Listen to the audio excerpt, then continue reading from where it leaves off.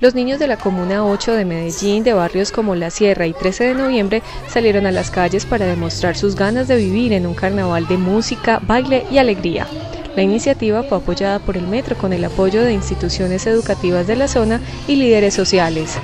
La mesa de trabajo conformada en todo este sector, liderada por la empresa, por el Metro, pues se dio a la tarea de, de también tener un espacio para los niños, porque estamos hablando que esto es un proyecto incluyente. Estos saltimbanquis animaron la jornada y fue una sorpresa que el metro llevó para los niños, quienes durante el carnaval hicieron paradas en varias instituciones educativas de la zona para llamar la atención de otros niños. Estamos haciendo una caminata por la vida. Es una conmemoración que se celebra ya hace varios tiempo.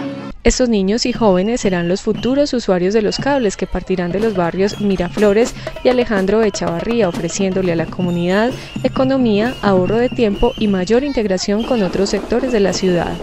A mí me parece muy bueno porque es con más facilidad uno desplazarse hacia las partes que uno quiere ir.